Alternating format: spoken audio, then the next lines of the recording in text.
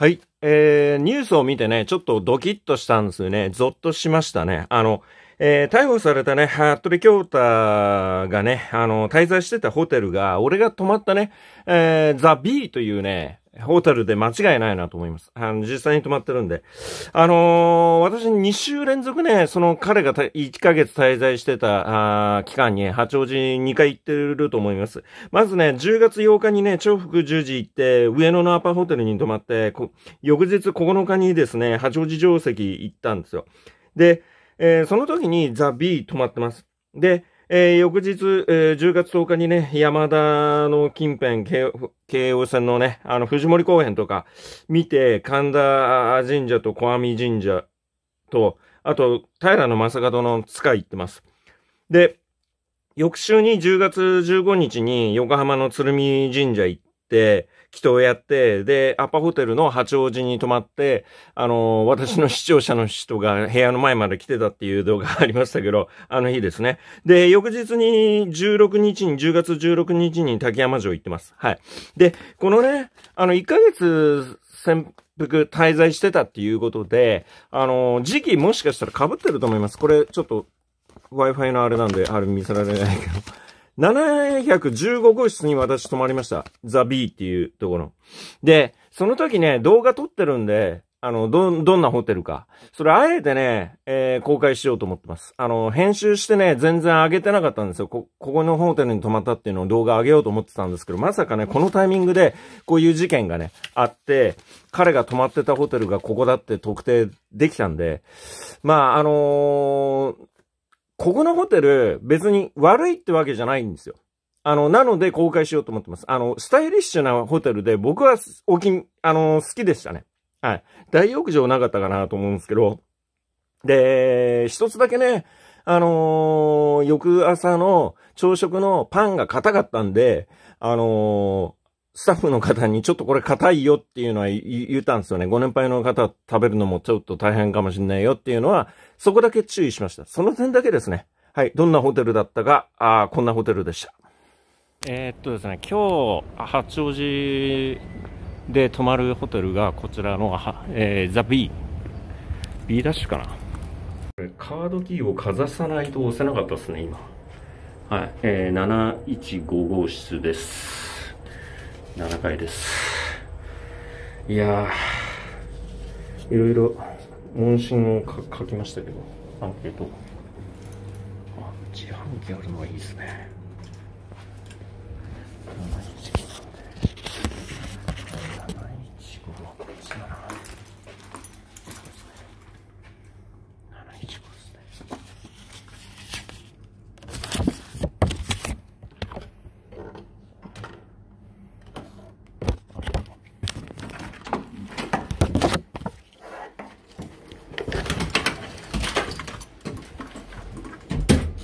えっ、と、さっきね、あの、入った瞬間にバッテリーが落ちました。八王子定石って言ってたんで、バッテリー全部食っちゃってね。あ、こういう感じになってます。はい。で、あこれは、あ12っていうお持ち帰りくださいのやつですね。で、えー、ユニットの方がですね、このようになっております。はい。えっ、と、アメニティ、えー、グッズはこういう、ボディタオルちゃんとこうなってますね。はい。えー、で、なんかこれもネットで見たんですけど、これウッドなのかな？ここだけがこうこういう風になってるっていうのは珍しいですけどね。はい。まあこれ、物干しロープ。はい。ですね。はい。ここで乾かすのもできるよっていうことです。で、はい。えー、もうね、あの、物を置いちゃったんですけど、えっ、ー、と、こう寝巻きがね、こういう風になってるんですね。浴衣じゃないっていう。で、こっちで空調も管理できるみたいです。で、ヘッドライト。あ、こっちですね。はい。これが、えー、足元っていうのもあるんですよ。はい。これ、これですね。はい。で、これは室内。はい。で、えー、これアラーム。はい。で、そうですね。こういう風になってますね。今、東京 MX やってたんで、えー、そんな感じになってます。で、明日、私が、あの今ね、あの、朝食の方が、分散でやってるらしくて、で、決めれるんですよ、フロントで。で、私は6時45からにしたんですけど、他3名ぐらいいますけどね。で、えっ、ー、と、これ VOD の方が、えっ、ー、と、これ映画ってあるじゃないですか。やるとですね、まあこうやって見れるんです。で、成人一般とかでも。で、あのー、見ようとするんですけど、再生ってやろうとすると、こう、えー、カード番号。まあ、有料ってことですよね。いかにアパホテルが、あのー、いかにアパホテルが、えー、無料で見れるっていう、すごいことかっていうことなんですね。えー、で、交通は、やっぱね、私が八王子住んでたのは、やっぱ良かったなと思うのが、交通の便いいんですよね、八王子。で、住みやすかったから15年住んだっていうのはあると思うんですけど。で、後でちょっと見てみたいなと思いますね。レストランはどうかわかんないけど、フィットネスとか、製氷機が8階あるんで、あの、これですね、氷。はい。えちょっと見てみたいなと。あの、買わないですけど、チケット、販売機ちょっと見に行こうかなと。で、朝食は明日私は、これ、あのー、この時間で組んでると。今は、あの、バイキングやってないみたいなんで、えー、そんな感じですね。はい。ビビシンとか、はい。ここは気になりますけどね。はい。カフェ。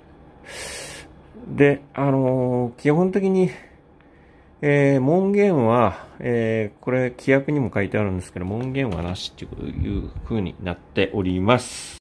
で、えっ、ー、と、冷蔵庫の方が、ちょっとね、ここは、アイスとかはダメみたいですね。入らないんですよ、これだと。ここだときついんで、ペットボトルが。ペットボトルここ以外に入らないですよね。そこがきついですね。で、あの、外の方なんですけど、そ、えー、それ、隣はビルなんで、ビビルの間なんですよ。そこが一般の人が住んでるアパートみたいな感じ。で、えー、引き出しの方に、はい、インフォメーションと、うん、そうですね。ランドリー用のやつですかね、バッグ。えー、あとはこれですか、ピザのやっぱどこ行ってもピザありますね、これ。ピザは頼まないけど、これは鏡ですね。えー、っと、このまず下にですね、こういう、非常灯がありますという形ですね。はい、これですね。で、あのここで、これ、えー、空調ですか？霧っていう風になってて、今強いやってるんですけど、よ、弱いっていう風にできるみたいですね。これがチケット販売機みたいですね。チケット販売機。これね、よく買おうと思ったんだけど、そちら入んないんですよ。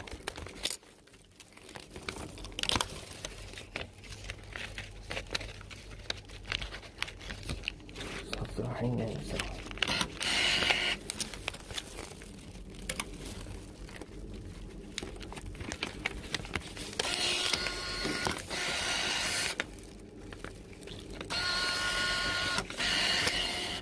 札が入んないんです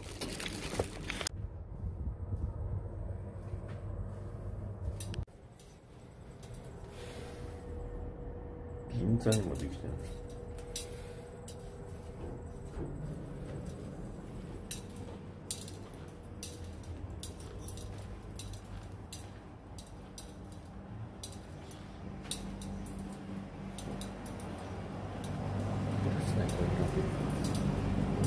こですね。アイスディスペンサー。これもアイス、アイスあんだ。これ、こんなブリこれって洗剤いらないんですかね？洗剤いるよね？電解水でいるよ。まあ、これで、ま、やりますわ。これ絶対洗剤いるだろ、これ。水洗いしちゃったで。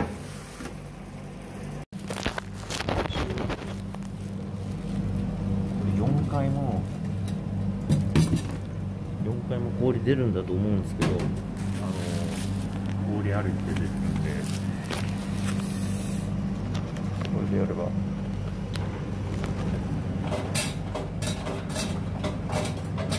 あ出るんだけどちょっと8回見に行ってみます電子レンジも一応あります。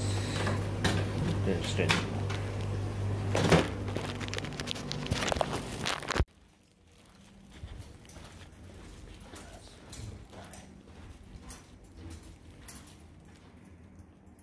フィットネスはクローズですねあの12階とか多分あのそういうホールがあるんですよ会議室とか。あんまりそういう動きすると怪しまれるんでいくつか。あの監視カメラあるんで。水ありますね。8階にあります。8階に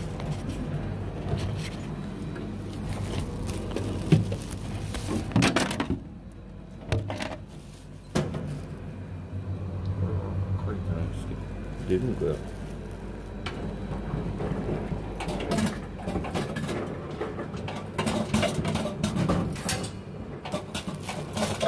2回行って間違えたってことでしょ2階がレストランのはずだから。Second floor. あ閉まってますね。はい。間違えました失礼します。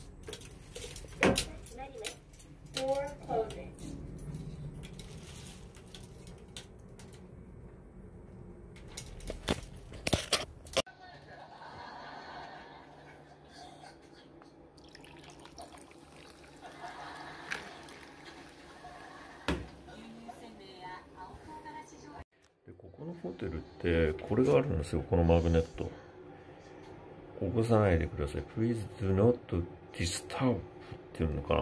あのこれをえー、この扉の向こうに貼ってっていうこともできるんじゃないですかね。乾燥機終わったんでやると思ったんですけどほこりがほらほらこれっていうかマイナスするのか、と昨日泊まったね、えーアパの方アパの上野の方もこれ100円で30分だったんですけど乾かんかったんで200円入れてます。朝食いきます。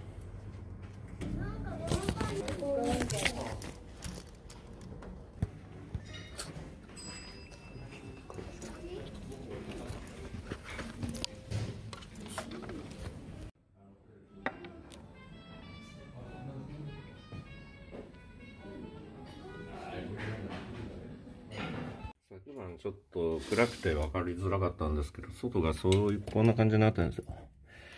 まあ、細い裏路地みたいな、まあビルですよね、隣が。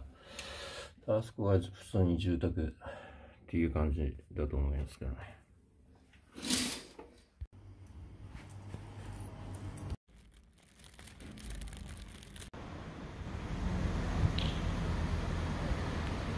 はい。えー、ということでですね、えー、私はね、今、あの、運気ものすごい上がってるってい、前にも言ったかもしれないです。ロートセブンの抽選ライブの時にも言いましたけど、私はあの、あのー毎週パワースポット行きつつ、で、鶴見神社でも祈祷もやりました。で、毎週ね、毎日ね、そわそわ感が半端ないんですよ。で、あのー、続々感というか、あのー例えるならね。で、その時にも言いましたけど、交通事故に遭うか、えー、宝くじ当たるかぐらいの、あのーものすごい運気にあると。はい。下手したらですけどね。だから悪く言えば、そういう悪いものを引き寄せる、えーかもしれないぐらいの運気。あのーえー良ければ、その、えー幸運を引き寄せるみたいな。とにかく今、引きが強いんですよ。で、あの、パワースポット巡りの最近の、最新の動画上げてないですけど、金山城っていうとこに登ったら、ああ城跡行ってきたんですよ。そしたら昔の一銭というね、えーコイン、えー古銭をね、拾ってしまいましたし、あの、とにかくね、自分今引きが強いです。